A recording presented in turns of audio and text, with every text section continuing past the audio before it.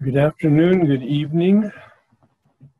My name is Herb. I'm an alcoholic. Welcome to our Big Book 12 Step Weekly Workshop. Welcome to the call. Please recommit to an open mind and an open heart and ask for spiritual intervention to make it so. God, please set aside everything that I think I know about myself, my brokenness, my spiritual path in you, for an open mind and a new experience of myself, my brokenness, my spiritual path, and especially you.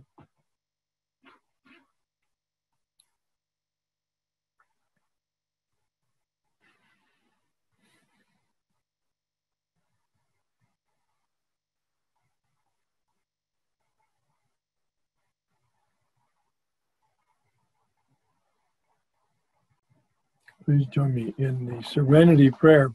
God, grant me the serenity to accept the things I cannot change, the courage to change the things I can, and wisdom to know the difference.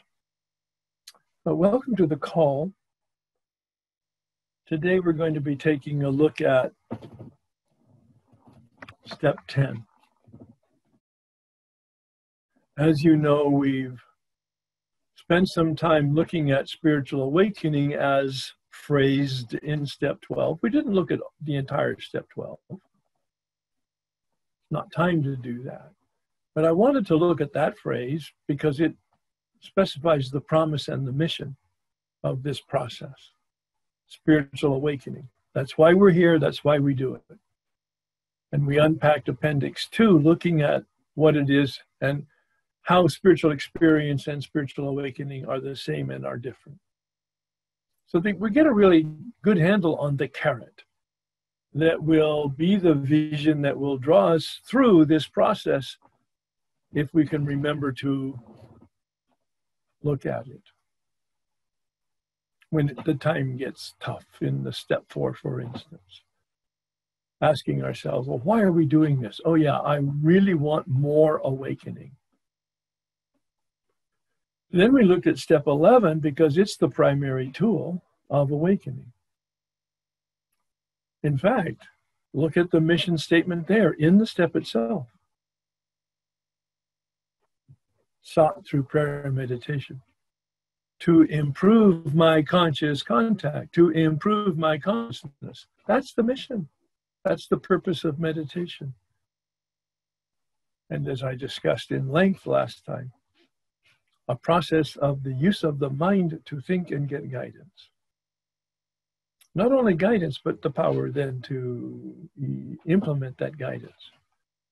The step 11 ends that way, doesn't it? Praying for knowledge of God's will for me. That's the guidance. And the power to do it. Now, tonight, we're going to take a superficial look, by my standards, at step 10 We'll take a deep dive in it when we get to step 10. But I felt that in the same way, step 11 is one of the tools uh, to navigate this path. Step 10 is the other tool to navigate this path, seeking power through power.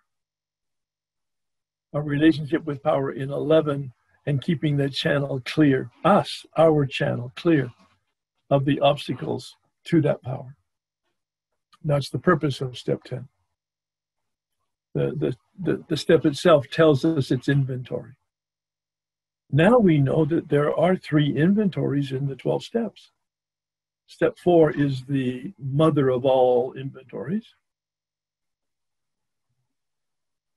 Some people do it once, step four. Some people do it once a year. Some people do it periodically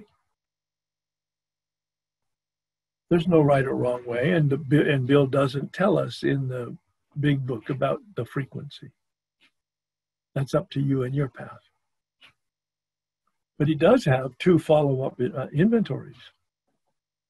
He says, We commenced this way of living as we cleaned up the past. We've entered the world of the Spirit. And we do inventory during our conscious day. And step 10 in the 12 and 12 really clarifies the use of step 10 the tool itself is very clearly described in the big book, but it's not quite clear as it is in the 12 and 12 as to when and how to use it. The 12 and 12 says very bluntly, it's a confrontation actually, if you accept it on face value.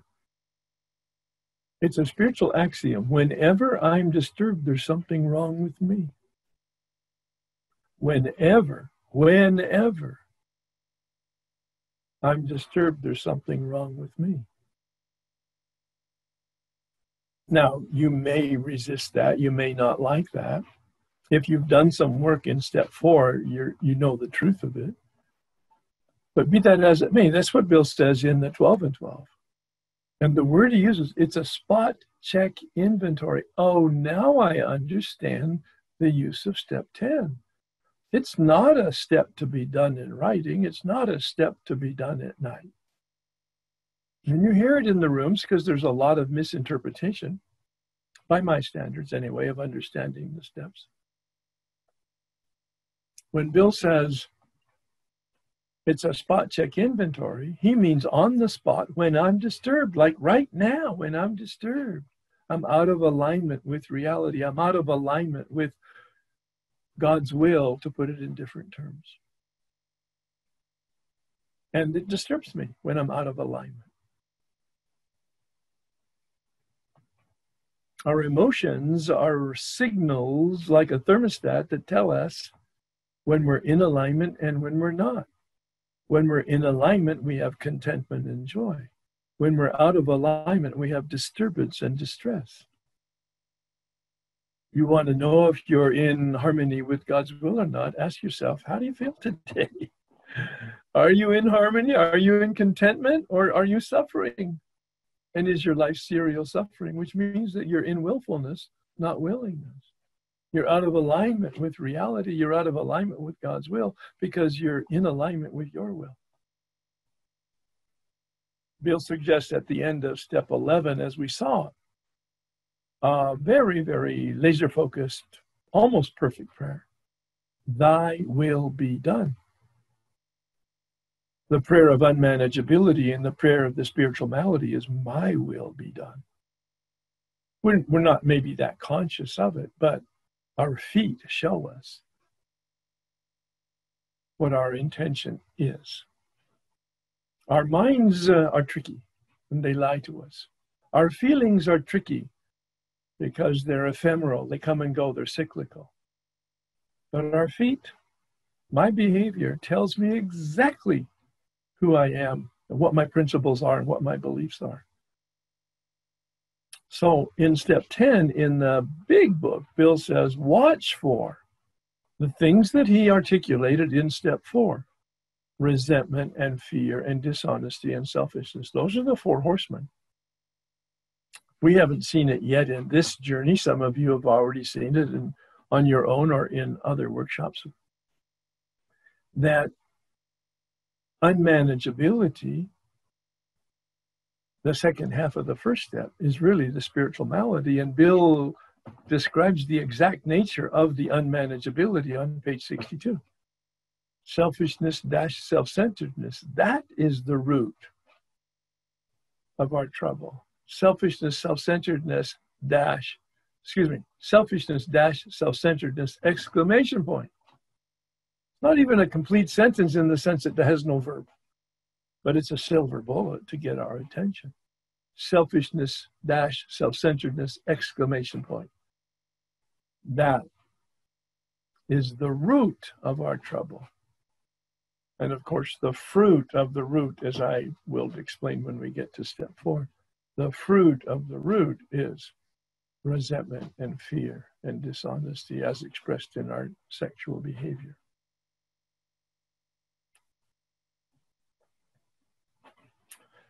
Bill says, watch for these. This is step 10. We've entered the world of the spirit. We've commenced this way of living as we cleaned up the past. I'm quoting. I'm not paraphrasing. I'm quoting from pages 84 and 85. We start step 10 the minute we start step 9. We commence this way of living as we clean up the past. I give my people instructions on step 10 when they have finished their step 8 and understand the process of step 9. I give them the instructions on step 10. Then I give them the instructions on 11. Then I give them the instructions on 12, the deep instructions. So that they can commence, begin this way of living as we cleaned up the past. As I'm doing step nine, I need access to power, a lot of power, because step nine is intimidating. It requires as much power as we can generate.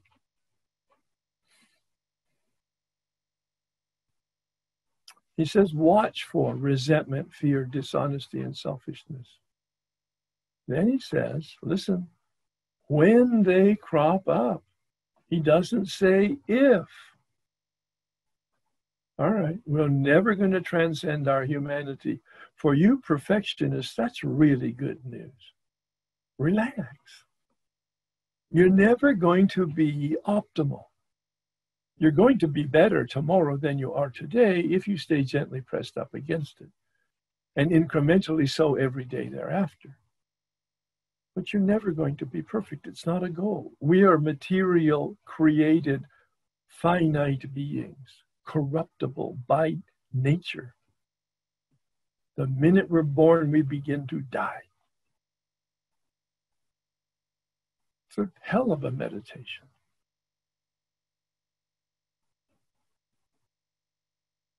So he says, when they crop up, what do we do about it?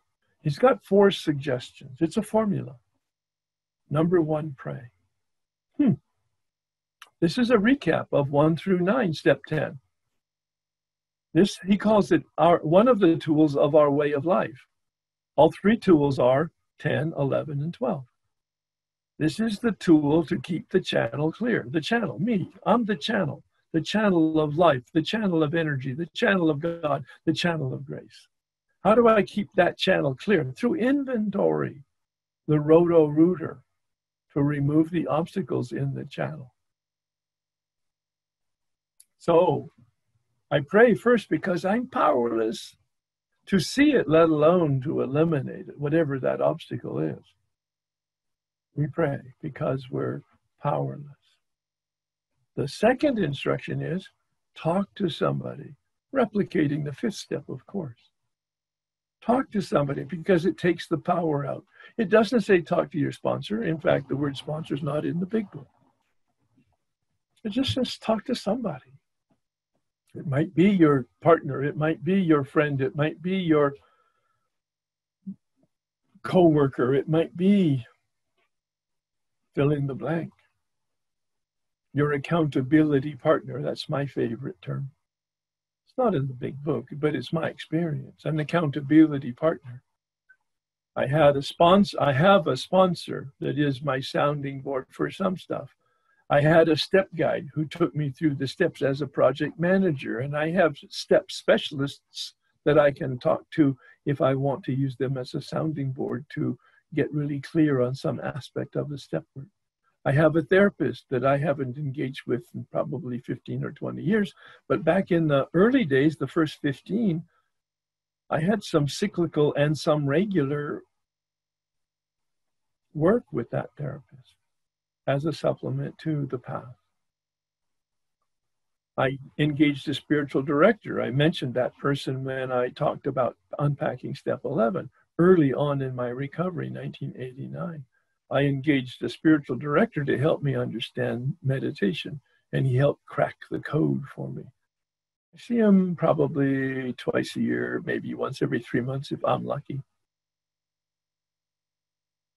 as needed. But I have a friend. I had a wife, as you know, she died two years ago. Now I have two daughters who are 30 years, one in AA, one in Al Anon. I trust them. I trust them with my emotions. I trust them with my life. I trust them with my soul, like I did my wife. Because they have my best interest at heart and they're informed wisdom women.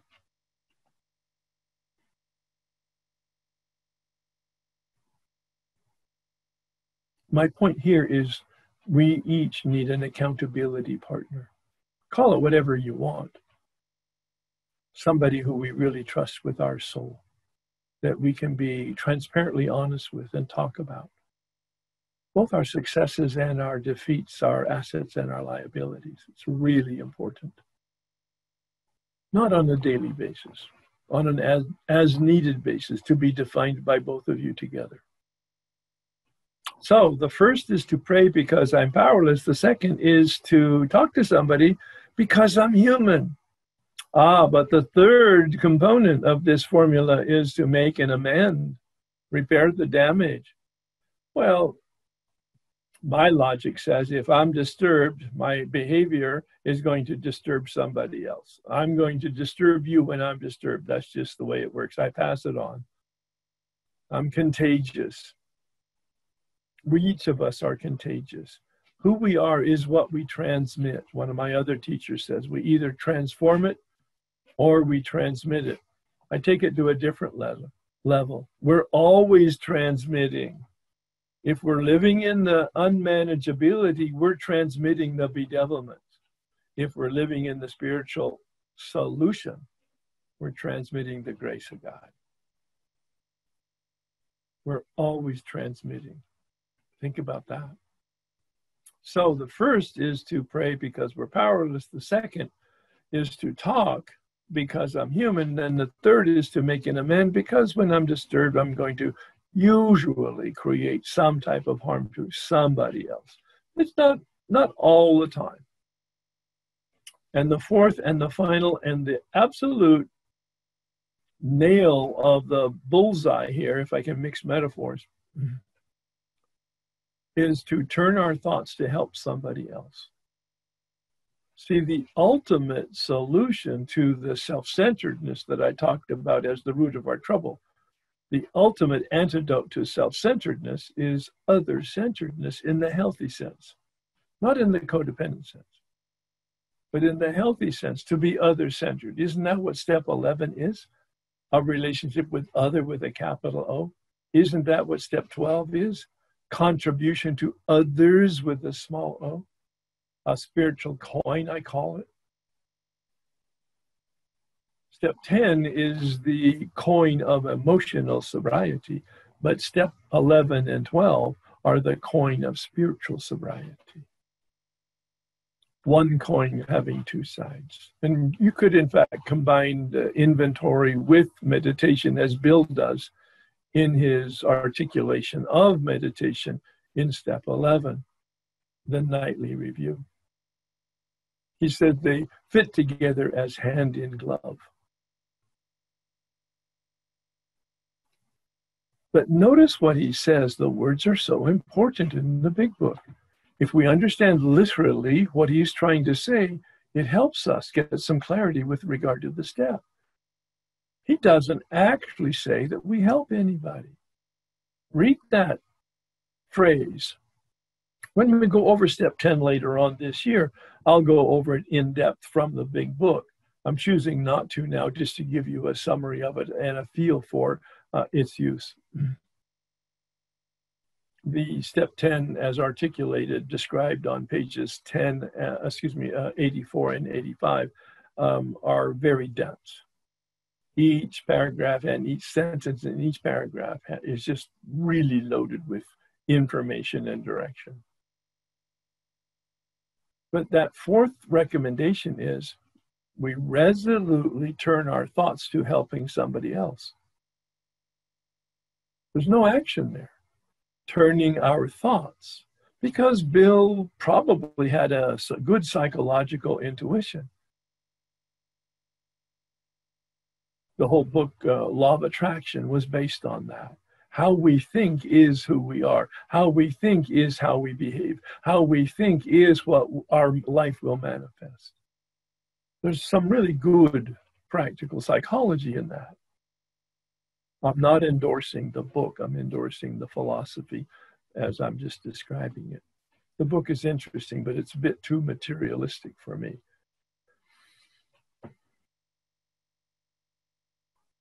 So he's saying if I begin thinking, turning my thoughts to helping somebody else, eventually my feet will move in that direction. eventually I will do something to help somebody else because I've been thinking about them and not myself. I've been given some freedom and release from my own self obsession when I begin to think about helping somebody else. And that's the real point.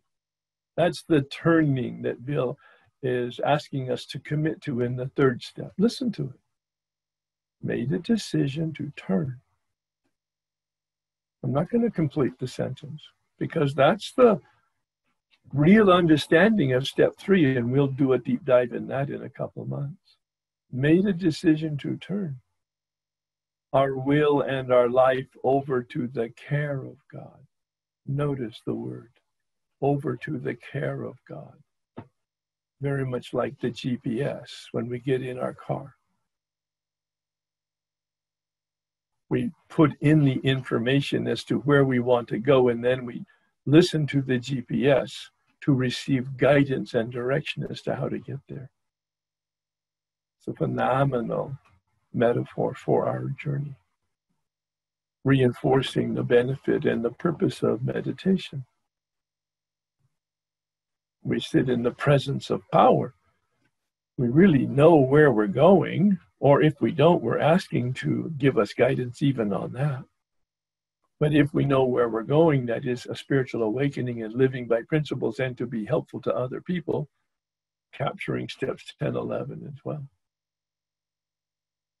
Then we listen to the guidances to the journey and we listen to direction and we take that direction. And to the extent that the channel us is clean and clear of the obstacles, there are no clouds blocking the sunlight of the Spirit. To the extent that we are disturbed, there are clouds in us blocking us from the sunlight of the Spirit. The darkness is diminished and dispelled through step 10. A mini roto rooter. Step four is the major roto rooter that cleans the channel of the debris of self centeredness, fear, resentment, dishonesty, secrets. Those are the obstacles. It's just human nature. It's not bad or good, it's just human nature. But we can become more optimally human, developing our conscience in step 10, developing our consciousness in step 11, developing our compassion in step 12. So, step 10 keep it attached to you like you do your phone. It's a tool, it's always with you when you're conscious and awake. And when you're disturbed, you pause uh, and you implement the tool. You pray, you talk, you amend and you turn. And if you do that on a spot check basis, you will be in alignment with reality and your life will flow. And as you practice it, the flow gets more consistent. You establish habits as you practice. Practice step 10, practice step 11, Practice step 12. Practice. And over time, we get better. Like the dimmer switch goes up a notch at a time and the lights get bright. At the same time, the dimmer switch on a greased axle and is on a trip trigger to go backwards. Dr. Tiebout, who was a psychiatrist that helped Bill Wilson, said Bill got it right. The first nine steps are for the deflation of the ego at depth.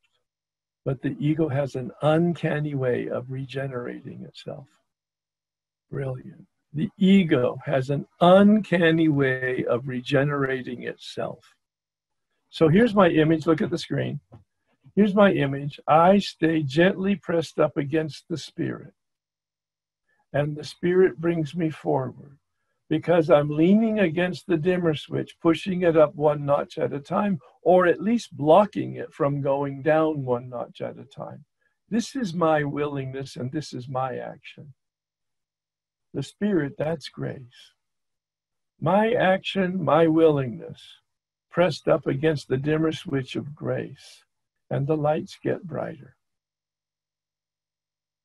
And the word I use for my life, and I have for 30 years, is that it flourishes. My life flourishes. Not without speed bumps, but we have the tools that are the shock absorbers to handle the speed bumps. Step 10 is one of the primary tools. Step 11 is one of the primary tools. Step 12 is one of the primary tools. In all of that, we need direction teachers and sponsors and step guides and accountability partners. We can't do this living of life by ourselves, and we certainly can't live this spiritual life on our own. Are we human beings seeking a spiritual experience? Or are we spiritual beings seeking a human experience? You may have heard me say it before. After several weeks of meditation on that problem, my answer is yes. I am a human being seeking a spiritual experience, and I am a spiritual being seeking a human experience. It's two sides of one coin. I'm the coin. I have a humanity and a divinity. So, um, focus on that assignment in assignment two, which is uh, the uh, first item uh, in terms of what it says to do over the first four weeks. We're going to unpack the Roman numerals from the title page up to the doctor's opinion. And you do it at your own pace. What I've indicated is ask yourself while you're reading it those four questions, and then at the end of your reading of that material, write out your answer to those four questions. There's no rush to that. I've, I've emphasized that all along. When we get back together in a couple weeks, we're going to begin looking at the title page of the big book, the beginning of the Roman numerals, and uh, going through each page fairly carefully to unpack the information as I see it and as you see it on each of those pages. It'll probably take us three to four weeks to do that. So um, now we're going to um, hear from you with regard to questions, concerns, experiences, resistances. It's all on the table. Because of what you're sharing, I have a question. Um, and the, because you're presenting um, step 11 and then back to step 10, and, and which has been very helpful, um, both of them take us through the same thing. Where am I resentful, selfish, dishonest, afraid? Step 10 is what we do during our waking day. Mm-hmm. Step 11, he says, when we retire at night, we do a review to see if, in fact, we were awake during the day or did we miss something in our step 10?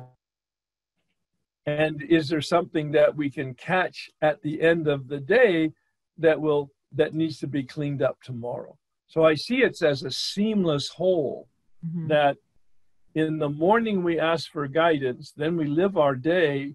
During that time, if in fact we're disturbed, do we use step 10? At night, before we retire, we review our day to see if in fact there's any blip on the radar screen that we missed. Right, but that's that's just in our mind. It's not in writing. Is that correct? I don't have any investment in whether or not you write or not. It's just not what the big book is not suggesting that you write it. If you find writing helpful, well, then God bless you, do it. During the day, however, Bill is asking us to use it as an immediate intervention. So sitting down to do writing takes time, and it may not be um, as efficient uh, for the use of step 10 as it's intended to be. That's my only concern there. Nowhere in step 10 and 11 does it say put it in writing. Right. Well, that's great. I yeah. like it. Well, I'm glad you did because I think it helped me frame it for everybody else in terms of the big picture of inventory. Mm-hmm. We do step four at the time we're doing the steps, either for the first time or for the next time. And then as we're living our life in 10, 11, and 12, during the day when we're disturbed, we use 10. At night, we see if there's anything else that needs to be cleaned up in 11. In the morning, then we plan our day, including cleaning up what we didn't clean up yesterday. Mm-hmm. Yeah. Thank Got you it. so much. Thank you. this step 10 is really where I catch my ego um, throughout the day. And that's kind of what I try to remind myself. And my question to you is how did you at the beginning remember to catch it? How, how do you catch it quickly so that you don't cause so much damage? Um, that's why we call it a practice. Um, I didn't catch it quickly. But what I did was I went to my boss at work, a guy who I'd had a relationship with that I trusted him. He knew I was in AA and that I somehow was strange, that I was like spiritually oriented. That was his term. You're kind of strange, Herb. I don't know people that are spiritually oriented. I go, okay, well, that's who I am. But then I said to him, I'm so insensitive that I don't know when I'm being a jerk. If you see it or you hear about it in the workplace, would you come and to my office, close the door because I don't want to be publicly embarrassed, but bring it to my attention because I don't want to be that way. And he did. I saw him every like three or four months. He would come in. He said, You're being a jerk again.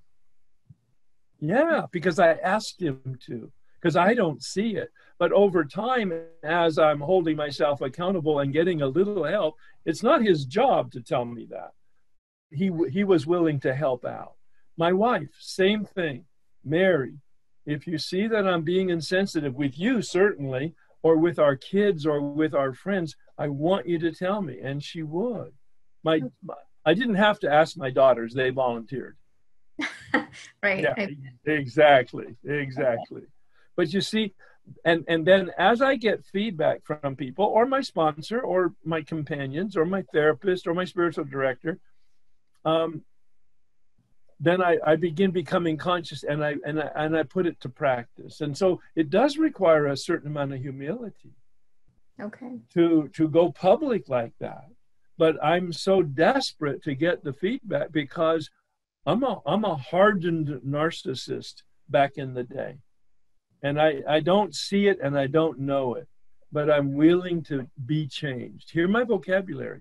I'm not only willing to change, I'm willing to be changed by the Spirit. Yeah. What, what about when I usually mistreat myself first? So I know I know who you are just by the little bit that you've told me. Yes. I, I'm just kind of You're wondering. you're I, I, I assume you're in Al Anon. uh, no, I should be. Well, I don't know about should be, but it might be helpful. Right. I guess I just want to know how I catch, like, I get my, I, I call it, I've heard it in a book. It's called like an ego story, where your ego is telling you a story in your head and it's really not that way. That's what we're going to see in the fourth step the Okay. myth and fable of your ego story. Okay. Okay. Well, I'll wait for that. Well, but but you were going to ask a question. Go ahead. Well, it's just, it's just how to catch that sooner because I feel like sometimes I'll let the ego story go and then I feel very defeated later and it, you know, it hurts me. And Two things that would help you be more conscious. Obviously, the meditation practice will help you be more conscious. Um, but anytime you're inclined to help somebody, if you could pause and ask your motive. Motive is an English word that comes from a Latin word movere, which means to move. What's actually moving you in the direction of helping somebody? You already have a suspicion because you already said it. There's some kind of uh, manipulation, some kind of a benefit value to you. It's not really clean sometimes right. Okay. that'll help you a lot that pause and ask about your motives Okay. second listen to anytime you think or feel or god forbid say the word should hear you yourself say the word should in your mind or in your heart or in your words and and pause and and hold the word and ask, is it true I should be helpful?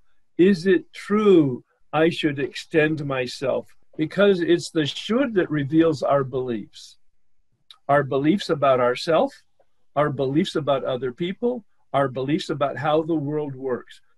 You're going to get a lot of um, technical support in the fourth step to unpack this at a deep, deep, deep level. But I'm giving you sort of a Reader's Digest version right now to answer your question and to help you begin to become more conscious of of that what's the, of the unconscious. Thank you. So this week has been totally transforming once again. It's just in layers of how how things are happening. And just tonight, when you were talking about this 10th step, because it goes right into an experience I just had with the 10th step. I've been taking 10 steps now since November from people and and doing 10 steps and always had these powerful experiences and so when I was feeling disturbed, I would reach out for people to call me for 10 steps. So I had a very very horrible experience with a person doing their 10 step. And when I got off the phone, then I had to do a 10 step over the way I'd just been treated. But what I saw in doing that was my selfish motive of taking 10 steps. I was doing it to feel better. And but then that's I, but but that's that's the motive of an addict, isn't it? What mm-hmm. can I do to feel better? Better.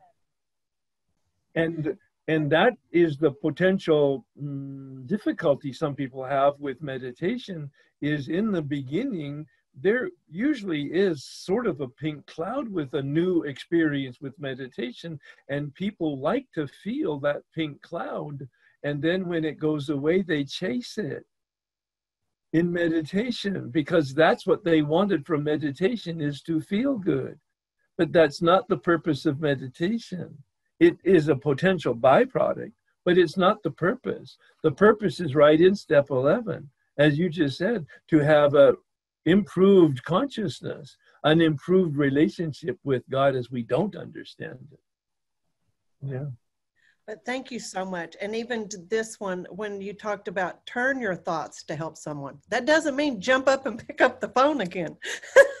what that means is turn your thoughts and then wait, pause, the, it's the pause that gets me in trouble all the time. I'm just going to barrel ahead.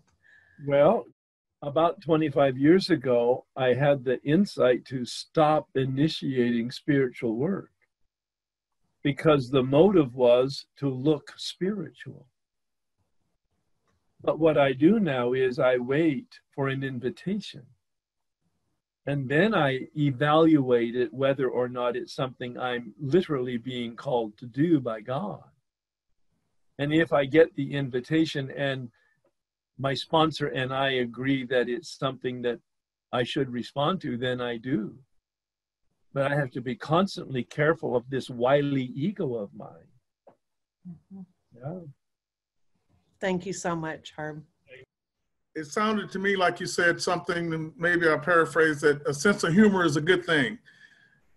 Well, uh, well, in fact, that was the implication what he said to me is it's the sign of authentic spirituality. A true sense of humor is a sign of authentic spirituality because you're, especially if it's about yourself, because you're not taking okay. yourself seriously. Go ahead. Ah, uh, okay. So I've been using humor uh, for quite some time, and sometimes I wonder if I've uh, distorted it in some way or if, if it's become something that I use to cover up something that's probably true about me that I don't want to uh, fess up to or something like that. So I guess um, in in the same way I asked somebody else, check out your motives. What's your motive for the humor? Is it in fact to bring joy to people, or is it to bring attention to yourself? Al-Anons have a great way of approaching it. Is um, is what I'm going to say true? Is what I'm going to say necessary? Is what I'm going to say timely? And I and am I the one to say it? Okay. And with those kind of questions, we really minimize its uh, its its its ego origins. Yeah. Okay. Oh, and another one I would add: Is it going to be helpful? That's my Ah. favorite lens through which I look. Is what I'm about to say going to be helpful? Okay. And I adopted that in my communication with my wife at about, oh, 10 years of sobriety. About half of my conversation with her went away because it, Oh. my, my, my, mine were not helpful. They were criti- critical or passive aggressive or some other kind of manipulation. Yeah, Hi. Um, I've got a question regarding meditation. I did your um, your workshop last year as a listener, and I was trying the whole year to figure out how to listen to the or how to find that quiet voice inside myself. And I struggled to discern it from my voice.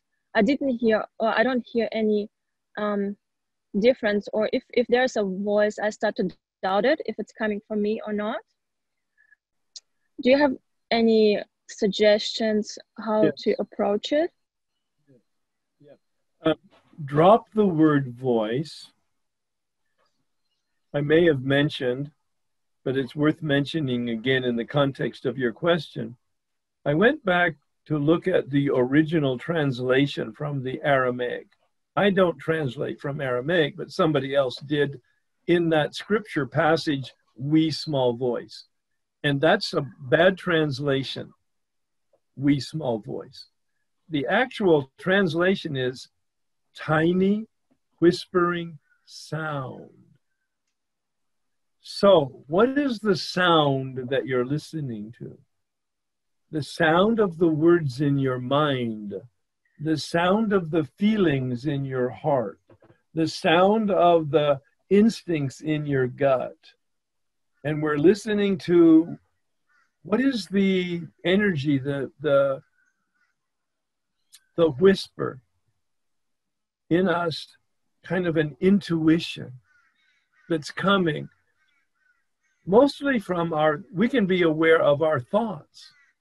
See, the thoughts are not the voice, but they're, they have some sense of uh, vibration, our thoughts. Um, and you heard it, somebody early on talked about uh, getting some guidance from their thoughts that way. So I've never heard the voice here, the words here, the guidance here audibly. But I've heard the suggestions very subtly as I interpret my thoughts and my feelings and my gut instincts. Does that make sense?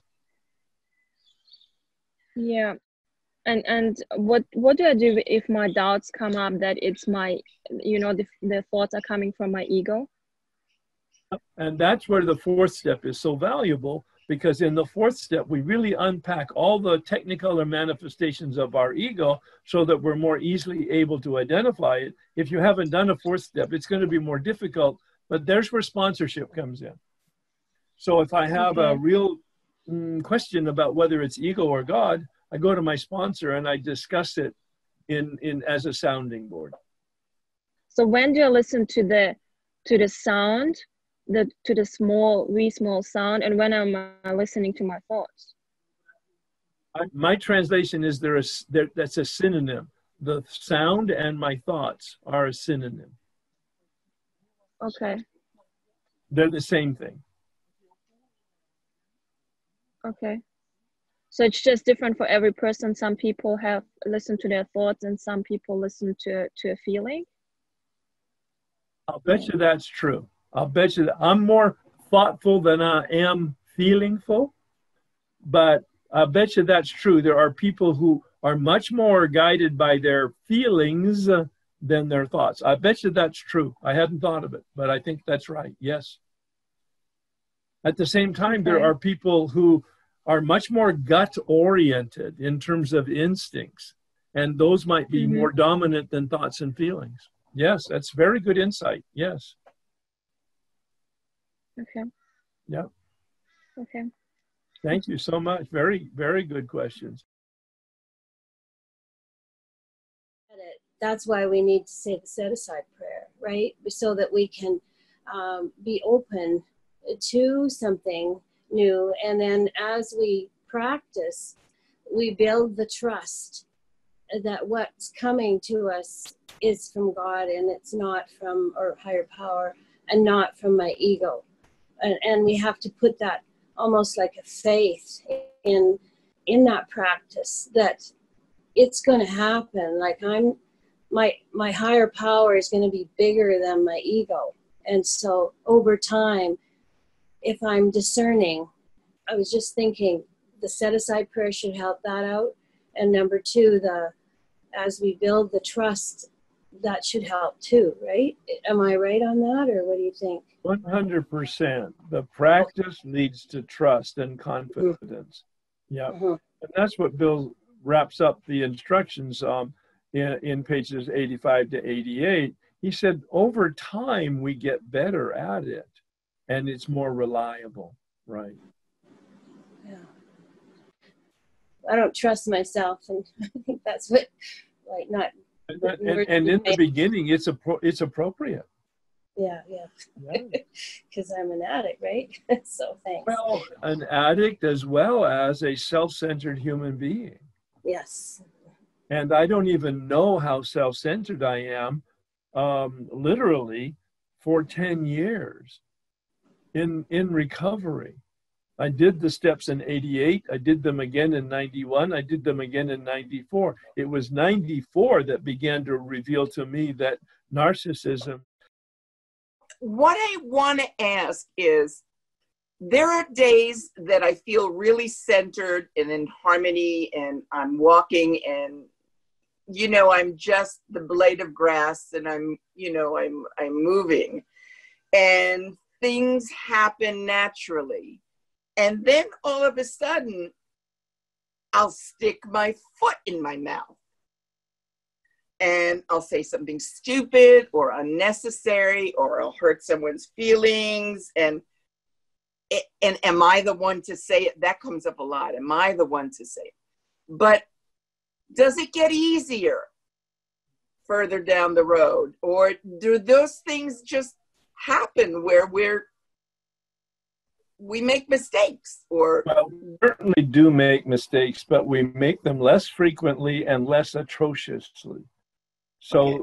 rather than 30 pound salmon, we start making mistakes at the one pound trout, and then we start making, then we graduate down to minnows. So I'm I'm definitely still, you know, having hiccups in terms of insensitivity and a lack of consideration or a lack of balance, but it's not like very visible and it's not very often.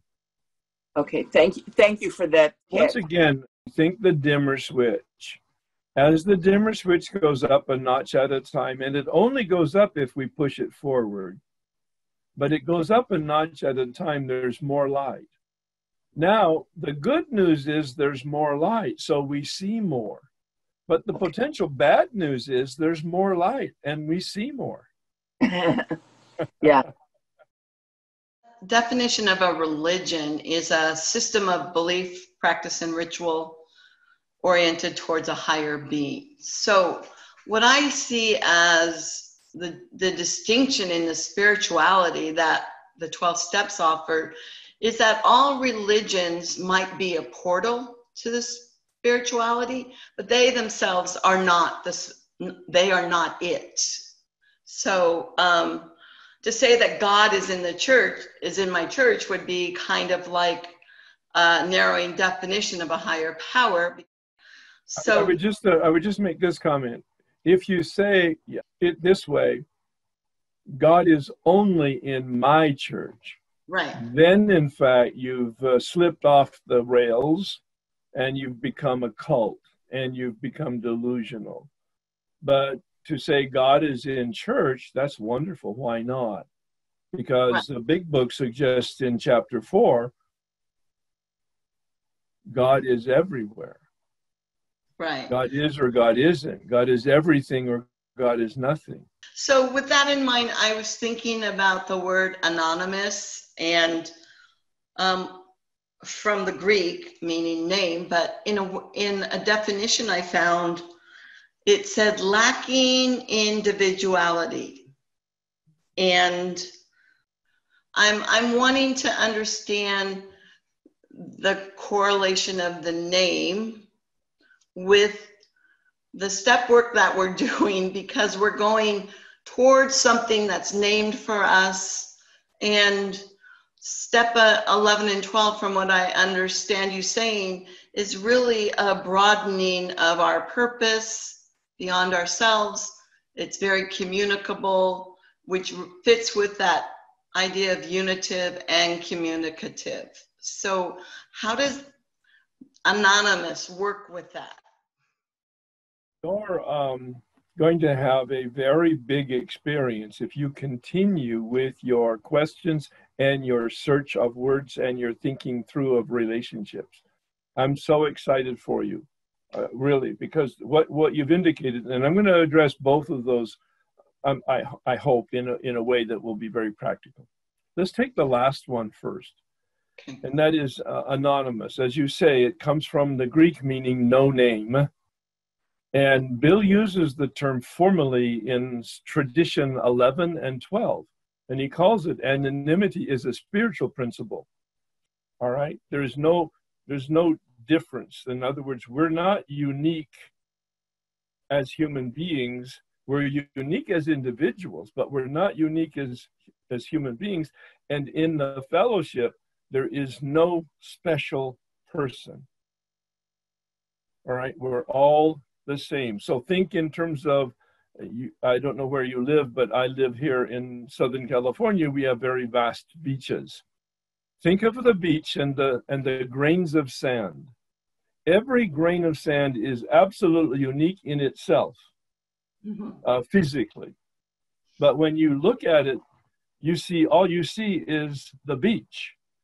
There's no distinguishing difference between one grain of sand and another. That's the spiritual principle of anonymity in the fellowship. No one up, no one down, no one different better, no one different worse. We're all the same, all right? Human beings. So then let's go to religion and spirituality. And you hear it so many times I'm spiritual, I'm not religious. And it's wonderful, all right? And I hope people understand what they're, what they're saying when they say it. Because it's deep wisdom. Religion is the portal. I love that term. I hadn't used it because I'm not a technically oriented person, but I will now begin to use it. Religion is the portal to spirituality. Yes. And and the mm, the way I was first introduced to it was in my study of Buddhism, where the teacher, the Buddhist teacher, stands on the path. I hope you can see my arm pointing the Buddhist teacher stands on the path pointing with the finger out pointed, the finger out pointed to the light. The light is the relationship of spirituality. Unfortunately, many of the students begin worshiping the finger. That's religion. AA is quite capable of, be, of deteriorating into a religion, especially in certain different meetings where there's a cult of personality or a cult of protocol. I don't worship the book and I don't worship the steps and I don't worship AA. I hold them in high regard. But the steps and meetings and the fellowship and the book are have only one intention. They're all instruments or portals to a spiritual awakening, a relationship with the light. So I have a resistance to identifying myself. Even though I am a food addict, I will accept that identity. But I, I have a resistance to talking about my quote unquote program, the program I work. Tell me what you think you mean by program. Okay, so I see the program as a framework, a structure, the rules. There are no rules, but go ahead. The suggestions? Yes, the suggestions. So it's the format that's undertaken. And what I'm seeing for myself is I need to be in and amongst the support of fellow food addicts to help me. Tell me about your resistance. What's your resistance to the term program? my resistance is based on people in my recovery program look at, don't talk about the steps, they talk about their sponsors, they talk about doing the tools. And I have a different focus. I have trouble identifying it as my program, which keeps me abstinent. It's my relationship with my higher power that does. That's exactly right. And it's not subtle. It sounds subtle until you understand it experientially, like you do. But does it matter what their terminology they're using as long as you're using the vocabulary that you want and you understand? So I do agree. Program are the tools. Program are the protocols. In fact, from my standpoint, very crisply, the program of recovery, in contrast to the program of living, the program of recovery are steps one through nine. That is the program, that is the protocol, that is the portal, that is the ingredients. Those are the suggestions that will bring you to recovery, meaning freedom from your addiction, first half of the first step then that's the program of recovery, steps one through nine. The program, excuse me, st- uh, the way of life, as Bill calls it, are 10, 11, and 12, which is the program of living, dealing with unmanageability, the second of the first step. But connected to your concern and resistance to the word program. Okay. Um, I, I think program can be like a religion that can hold you, kind of hold you and bind you to the its tenets. I want to be able to relate with someone who's going to sponsor me to understand the steps really well. Not that would be helpful. not the not the tools of recovery in a program, right? Well, so all right, but but here's where here's where in, in step 10 bill says love and tolerance are our code doesn't say uh, evaluation and judgment love and tolerance are our code and so in aa there are many people I'm, I'm, I'm sad to report many people who think that meetings are the program meetings are not even mentioned in the big book except a couple throwaway lines. We meet weekly so that newcomers can bring their problems, and we meet periodically in people's homes for the fellowship that we crave. I believe those are the only two lines in pages 1 to 164 that reference meetings. Meetings are not even a tool mentioned in the big book as part of AA. It's developed as a culture over time, and I'm very supportive of meetings. I went to a meeting every day for 10 years, and I still go to meetings even on Zoom once or twice a week. Mm-hmm. But meetings are not the program, they're just an environment for the fellowship to support the program. Right. The word sponsors not in the big book. You may or may not know that. Okay. The word sponsors not in the Roman numerals nor the pages 1 to 164. That word is not used. It didn't come into the fellowship until after the book was published in the 12 and 12, which was published in 1951. It, it, uh, it's all through the, each of the chapters, the term sponsor. So in those 12 years, the term sponsor came in. Now, again, I think the most important moving part in the program of recovery is sponsorship because we need teachers and we need accountability partners. If you have an ex, a, a, a, a, consistent, effective relationship with a experienced person, I'm, I'm modifying it. If you have a effective relationship with an experienced person, you will do all the other moving parts of the program. All right, so that's why I think today that sponsorship is the most important part. Um, the tools are just part of the vocabulary that have been developed. I'm very familiar with the mm, environment and with the, this conversation. I've had it many times. You need to find somebody who is an experienced person who can help you, who resonates with you and you with them, and that they have a flexibility to allow you not to accept some of the terminology. That's really the critical part because Okay. it could it could get in the way of their helping you do what you've said the the fellowship itself and your sponsors been one and the tools have been wonderfully helpful to you to accomplish what it is you're there for anyway. But people get cultish about some of the vocabulary and some of the program and some of the tools and they begin worshiping the finger and that's never healthy. But it's not my job to convert them and to teach them and to bring them out of their darkness. Thank you. Oh, wonderful conversation. As I say, buckle up, shoulder straps, because you're in for a real journey. Yeah, thank you. Thanks. I've been taught uh, when I do a 10th step to do a mini fourth step, you know, to actually look at the selfishness, the dishonesty, the self seeking, and the fear, and um, what, it, what my issue affects. But the second paragraph on page 75 is what she pointed out to me um, that we also go into the, in essence, the fifth step, follow up to the fourth step when we do a, a 10th. We pocket our pride and go to it, illuminating every twist of character, every dark cranny of the past. Once we have taken this step with holding nothing, we are delighted. we can look the world in the eye. We can be alone at perfect peace and ease. Our fears fall from us. We begin to feel the nearness of our creator, creator etc.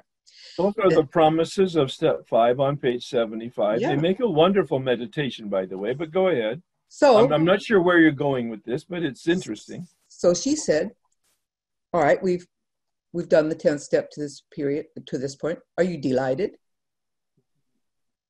I said, "No, I'm not delighted. I don't feel at peace. I don't feel resolved." And so the next thing she said to me was something on this order.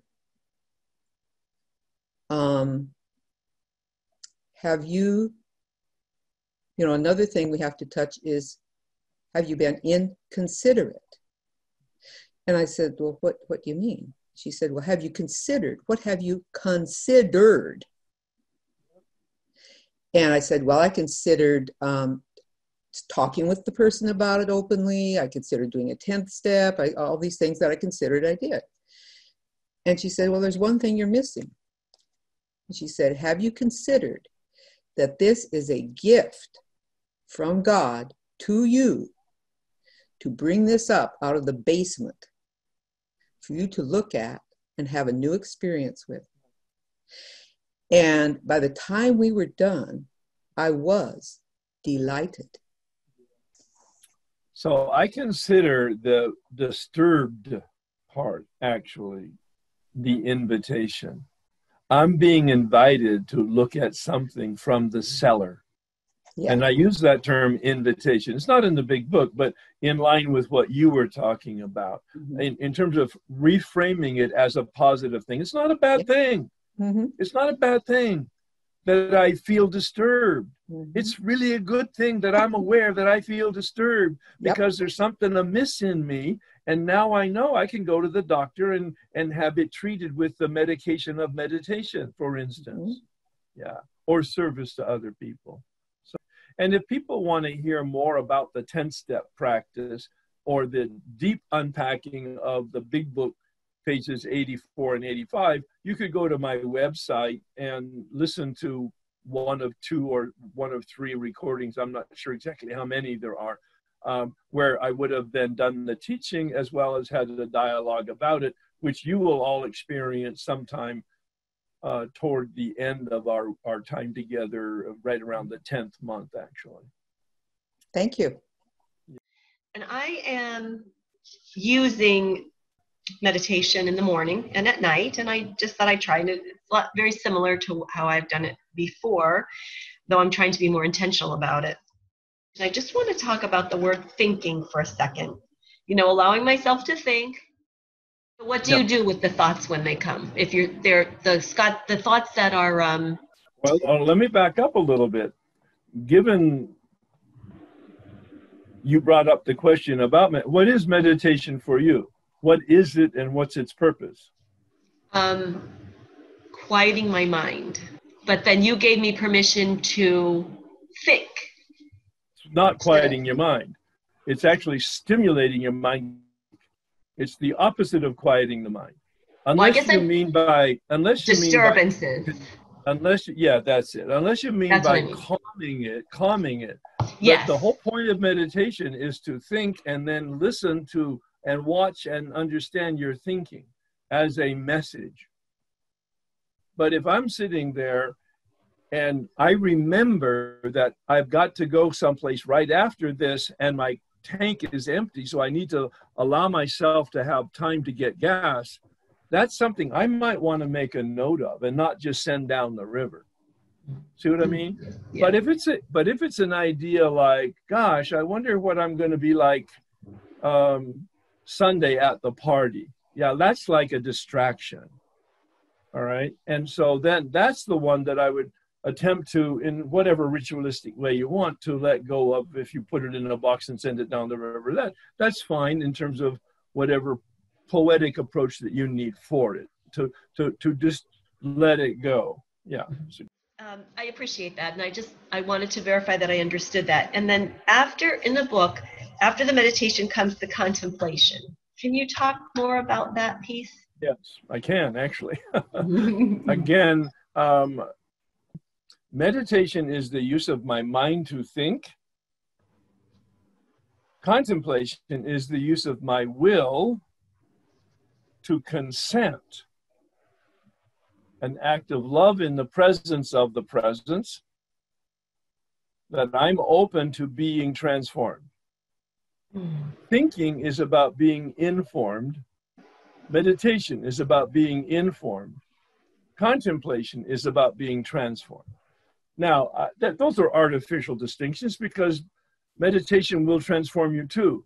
But it, I love, I love the, mm, the, the, the, the, the sound of the words because it provides such a distinction that gets people's attention. The reason I'm doing meditation is guidance for information. The reason I'm doing contemplation is change, metamorphosis. In the presence of the presence of the power, I'm going to be absorbed by the power and I am going to absorb the power. It's almost like a symbiotic relationship. So that's why it comes after to so you know I do the meditation I'm looking for the information and the guidance. And then when I go into the contemplation it's like can I I'm asking if this is what you said. I'm taking what I've heard to then see if it how I can embrace it to Well, that would be just that would be part of the that would be part of the meditation Mm. if in fact you're thinking about how to implement the guidance that you got that's the tail end of the meditation and by the way don't let's not be arbitrary about the order of things. I, mm-hmm. my order is i pray and then i meditate and then i go into my contemplative stance. And if i were to allocate time it would be two or three minutes in prayer five minutes in meditation and 20 minutes in contemplation. But what what happens practically? I start perhaps even in contemplation. I'm just completely overwhelmed this morning with the awe of the presence of God. And I sit there quiet, receptive, not thinking, but aware of that presence and the magnificence of the energy. And then I might kind of drift into some type of prayer, maybe the third step prayer as a moment of recommitment. And then I might go, well, I better think about my day to make sure that um, I've got things in balance and then I might go back into my contemplative stance. But I'm I'm hoping you're hearing the flexibility of this. It's not about ABC one two three. Please do not use formula when it comes to your spirituality. Mm-hmm. Keep it really all inclusive and and and and wear it like a loose garment, to quote scripture. Yeah. Yes, thank you. Because I, I just I feel better understanding the the information versus the transformation. I think that's helping me. Absolutely, and and I think that the questions that you asked are wonderful that we get a chance to explore it a little bit more, maybe different words that I'm using, so that other people can also benefit from it. But let's be really practical. What is it all about? As one of the uh, people talked about earlier, it's a med- prayer and meditation and contemplation. The total purpose of that is a portal. Those are portals to a relationship with God. Prayer is when I'm talking to God, meditation is when I'm listening to God, and contemplation is when I'm being in the presence of God, absorbing it. Yeah, nice. I still have blocks about my inability to feel God, God's love, and a very low self esteem, and I, I, suffer from not being enough. Um, and would it be your opinion that if I um, I have this hope that with regular meditation and continuing in this um, year program, um, that maybe some of those blocks could be unblocked.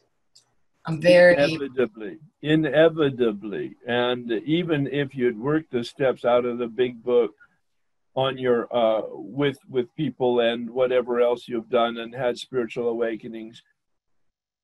Coming to them again will broaden and deepen your experience. I can't predict what will happen other than there there is additional change that's available to you. Yes. Thank yes? You. yes. Yeah. Well and the one thing that I, you'll hear me stress regularly is when people start talking about feelings. Feelings are incredibly important, like we talked in step 10. Feeling disturbed is a signal, a thermostat for us that something's amiss. It's really important that we have feelings and that we pay attention to them. Feelings tell us if this is a source of suffering. Feelings tell us if this is a source of joy it's absolutely critical for our survival and our happiness that we listen to our feelings. However, when we bring it into the spiritual life, it has the potential trap because we're feelings are biochemical, feelings are cyclical. And when people are chasing a feeling of God or a feeling of God's presence, after they've actually had a feeling of God and God's presence because of whatever reason, then in fact they will shut themselves off from it. If they chase that feeling, they will chase it away. It's being into it, embracing it, leaning into it, enjoying it, but not having it the determining force of the purpose of meditation or prayer or even of our spiritual life. Tell me your reaction to those thoughts. Yes, you can't chase it. You just have to lean into it. Yes. Thank you. That's it. That that's my term is lean into it because there's a gentleness there. There's not a there's not a major effort. There's no violence at all. We just lean into the spirit. And my experience now, to continue with that metaphor, I lean into the spirit, and the spirit wraps its arms around me and leads me forward. Now I don't feel that. I don't know that. But when I stop three months later and I look back over my shoulder, I go, you know, somebody hitched up my trailer. Yeah. All right. Thank you. Thank you so much. Way of life document about the prayer time and, and meditation time.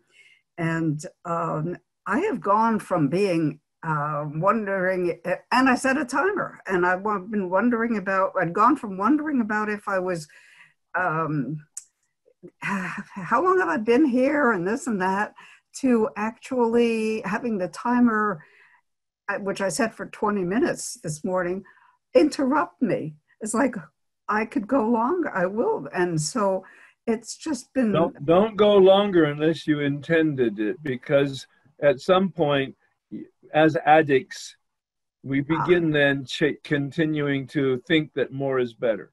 Okay. Yeah. Thank you. Thank you for saying that.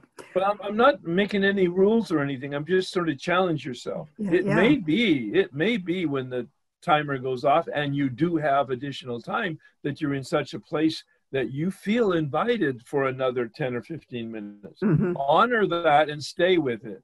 But be careful about our inclination toward compulsivity. Okay. Yeah. Yeah. I needed that reminder. Well, Uh, we all do. Yeah.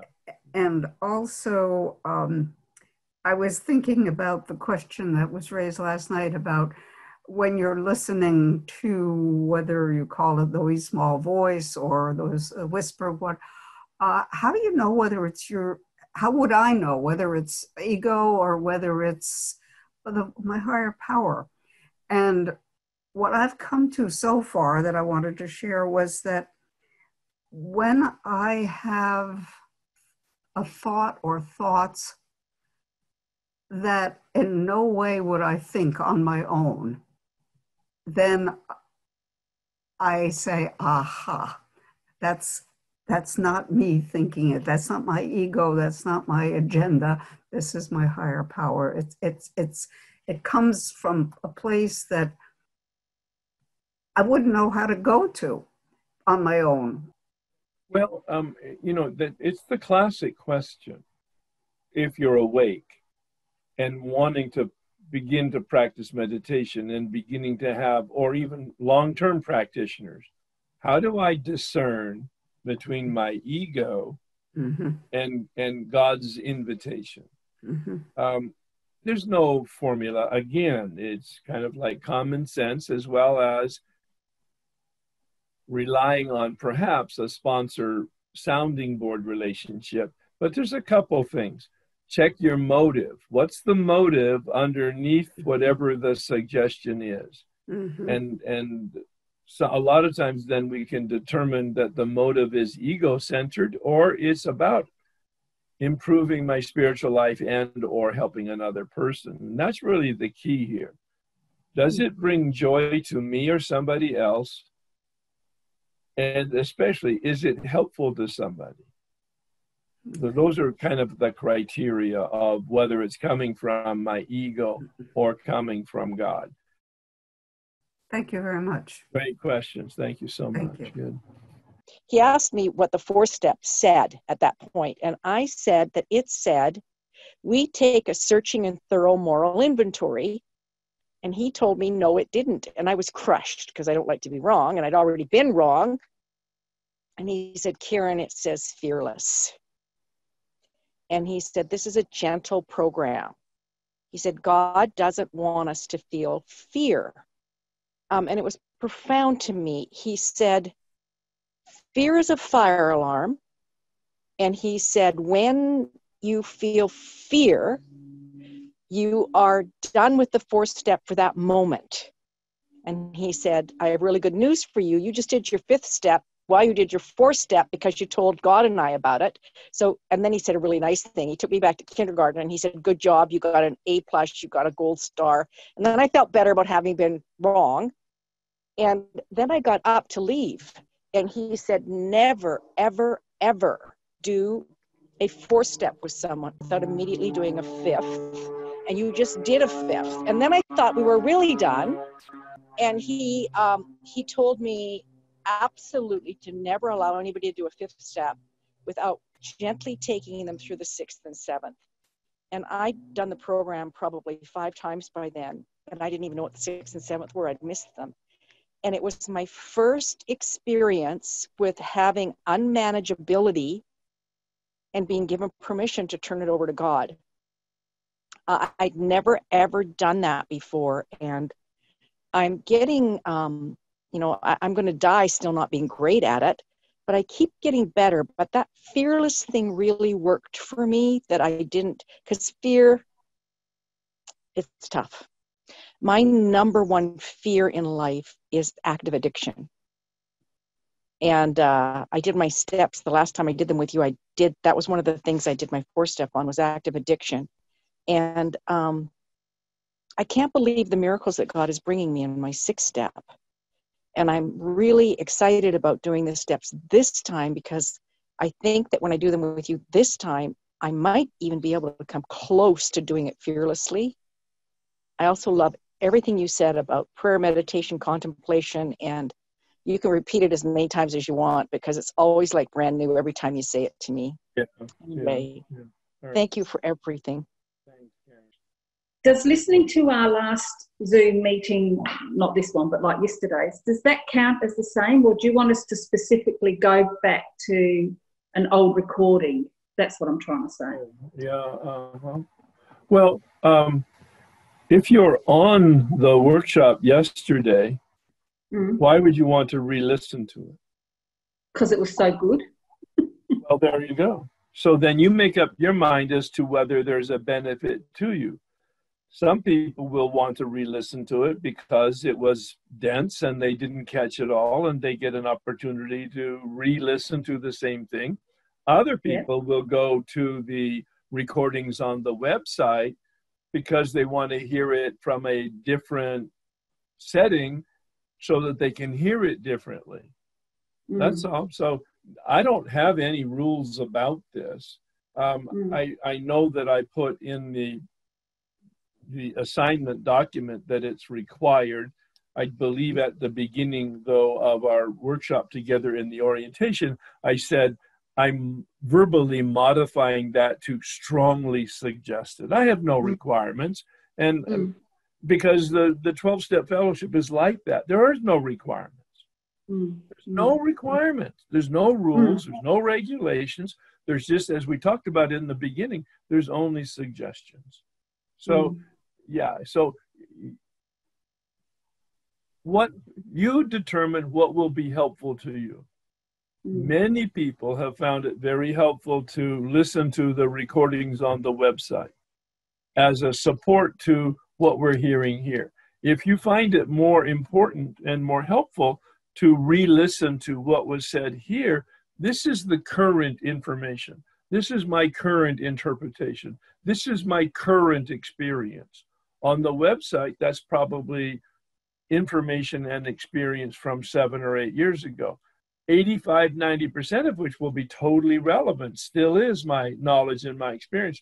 But there's been a shift of maybe 10 or 15% in the way I present it or the vocabulary that I use. Mm. And, and one other thing, um, I'm overwhelmed with the um, uh, the depth of everybody's shares and their knowledge and um, spirituality to the point where, and I hope this doesn't sound egocentric, but I feel like I don't, not that I don't belong, because I, I am here to learn. And, and where do you Are start you, are you in a are you in a 12 step program? Yes, but it's Well- not very. Well, wait, wait, wait, wait, wait. Why did you hesitate just then? Are you in a 12 step program? I am. I'm in a couple. There you go. And are you relatively new then to the 12 step rooms? I- yes. Okay, so you're you're at the beginning of your journey. Some of these people have been around for 10 and 20 years. Some of these people have done this workshop two and three times. They're going to sound a lot mm, smarter than you are. Absolutely. They do. It's just amazing. I mean, some of the people I could listen to them as a workshop themselves. That's right. Just the question, the everything. That's right. I'm just in shock. I'm actually teary. I'm so moved. And I, I said a few weeks ago, after this, I like I can't really do anything. Like I don't want to talk to other people or do outreach calls or, because I'm so filled with this stuff, and it's magnitude. Some people That's have said that the workshops ruin meetings for them. Exactly. that That's exactly right. And that's why they come to the workshop for a meeting rather than doing the work again. That's exactly right. Because because here we are, vulnerable and and of substance. Oh, you got it. You're right on the money. That's the word. I'm just like overwhelmed with the substance. Just So my It's- one my mantra for you, yes, I'm writing. I have down. only one word. Breathe. Ooh. You just show up and breathe. You'll be fine. Okay. Yep. Herb says all I have to do is show up and breathe. Perfect. I'm good. All right. Thank you. All right. would you assume that most often the the thinking part, the guided thinking of asking God, "What's your knowledge of your will?" and "What do you want me to do today? Who do you want me to be today?" is is that always more of a five minute beginning, followed by the fifteen minutes, and or should I not worry about being too structured? Please don't worry about being too structured, but my answer would be yes to you. That's how my practice is I begin with prayer just to open myself up and establish the relationship. I also repeat step 11 itself to remind me of its purpose to improve my conscious contact. That's the, the total reason I'm sitting here. Then I do my meditation, and it's usually five or 10 minutes. It might be less than five minutes, whatever. I don't time it. And then I move into intentionally, I move into the centering prayer contemplative practice, attempting not to dilute it with prayer meditation, but knowing that that's not under my control. That I just am attempting to be in the centering prayer mode, and whatever happens, happens.